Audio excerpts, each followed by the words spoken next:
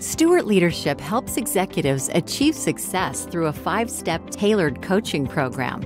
We start with discovery and work with you and your boss to determine focus areas and set expectations.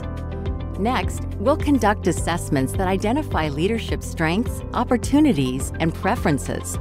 Together, we craft an action plan with success measures to help you achieve your goals. Then we hold regular coaching sessions to support your development. Finally, we evaluate your results by tracking your progress, coordinating with your boss, and celebrating your successes. Ready to learn more? To get started, visit stewartleadership.com/start.